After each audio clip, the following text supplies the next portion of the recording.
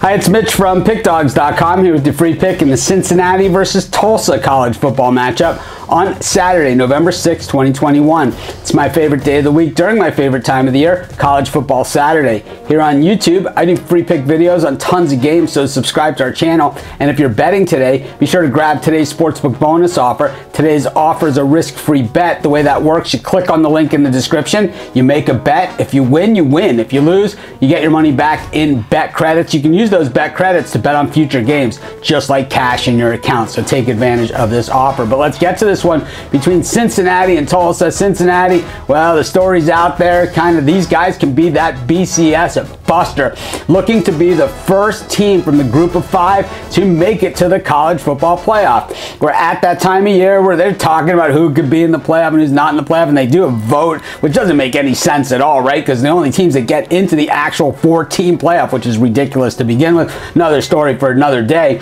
are the teams that they select at the very end of this. You know, it never once in the history of this playoff and playoff shows has there ever been the first four teams that have made it all into the playoff at the end of the season. What I say, why bother? Let them settle it on the field. Let's go to a 16 team playoff like like everybody else. But anyways, the Cincinnati defense has been on fire under head coach Luke Fickell. Of course, was the defensive coordinator at Ohio State. He's also the guy that stepped in as the interim coach um, at Ohio State when uh, when when they needed that a few years ago. So he had head coaching experience coming into this Cincinnati job, which has been a stepping stone to some of those gigantic jobs that have been out there Number two defense and scoring 14.3 against. Of course, their quarterback, a Heisman candidate, Ridder.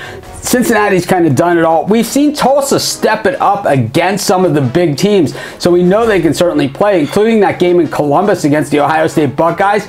I think Cincinnati, we haven't seen the best of them the last two weeks. I think we see the best of them here. I'm going to take Cincinnati, lay the big number, and that's going to be my free pick. Of course, if you're wondering which games I like the best, the ones I'm most confident, or if you're looking for best bets from some of the top handicappers in the world today, head on over to pickdawgz.com, click on the premium picks tab, and if you like our YouTube, check out our premium YouTube. Just click on the link in the description of this video. Find out all about it.